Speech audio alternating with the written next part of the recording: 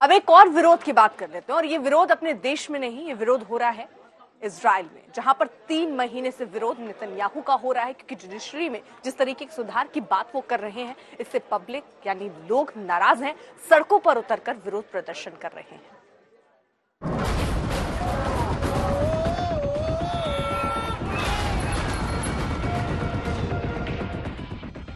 Israel में लोकतंत्र की आज़ादी के लिए एक लंबी लड़ाई छिड़ी हुई है।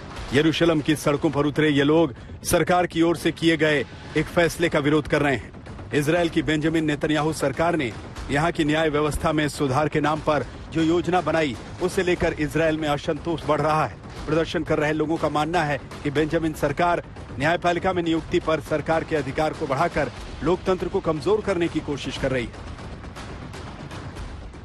Things really changed. It's still ongoing. It just it just got pushed. But the fact that he really was was we were able to do something with these protests, with these pressures, with these strikes. It really um, it's really going to make a difference if we just keep going, keep up the pressure. It's the only thing that we can do, and it's show that it is working. And so it's really meaningful to be here.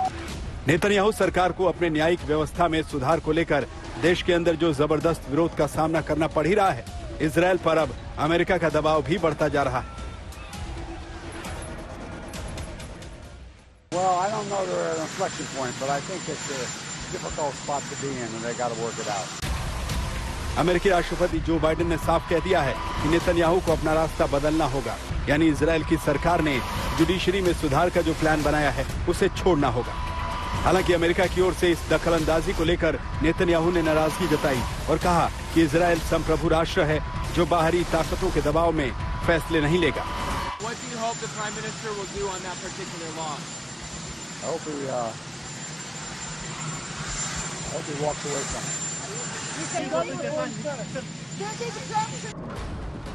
हालाँकि देश के अंदर चल रहे प्रदर्शन और बढ़ते प्रभाव को देखते हुए नेतन्याहू ने फ़िलहाल के लिए न्यायिक सुधार का फैसला रोक रखा है। लेकिन इस बीच नेतन्याहू सरकार ने सेंटर और लेफ़्ट विरोधी दलों के साथ बातचीत करने की पेशकश की है।